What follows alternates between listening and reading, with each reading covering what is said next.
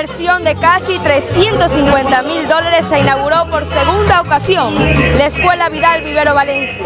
Aquí les tenemos un informe. Un nuevo bloque de aulas, lugares de recreación y servicios complementarios en la Escuela Vidal Vivero Valencia, donde reciben instrucción primaria estudiantes de las cooperativas 50 Casas y Río Teaune ubicadas en las cercanías a la refinería Esmeraldas, fue reinaugurado por parte de funcionarios de Petroecuador ante la ausencia de las principales autoridades del sector energético. Posiblemente nuestra actividad hidrocarburífera ha ha deteriorado algunos elementos, el aire, el agua, el suelo, por la operación propia de la industria. Sin embargo, la Gerencia de Seguridad, Salud y Ambiente ha tomado la responsabilidad de retribuir de alguna manera esas afectaciones que estamos causando a su ciudad, a su, a su barrio, a su entorno. La entrega de la obra se la hizo al inicio del año lectivo, pero los funcionarios de refinería habrían incurrido en ingentes gastos en lo referente al adesentamiento de última hora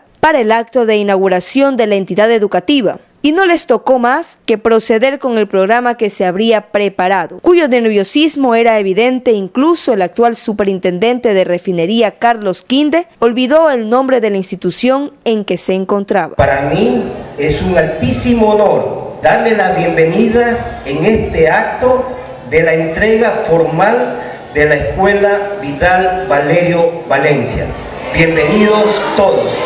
¡Viva Esmeraldas! Esta obra forma parte del programa de compensación social para los barrios aledaños a la refinería Esmeraldas y su área de influencia, realizado por la Gerencia de Salud y Ambiente de Petroecuador cuyo monto es de 340 mil dólares, por lo que la directora del plantel solicita seguridad. Señora directora provincial, que nos ayude con dos guardias, un diurno y un nocturno, para que lo resguarden las instalaciones, de lo contrario estaremos seguros que seremos víctimas de la delincuencia que existe en el sector. A pesar del gran monto de inversión que se ha hecho en esta institución educativa, no se han hecho acciones por los sectores aledaños a la misma. Porque cuando llueve todas las alcantarillas, las tapas vuelan.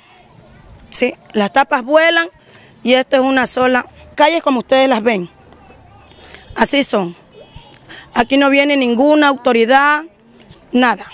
El PAE, porque aquí es un, un terrorismo que hay aquí. Aquí la gente no puede andar, o sea, libremente porque son siendo asaltadas y todo.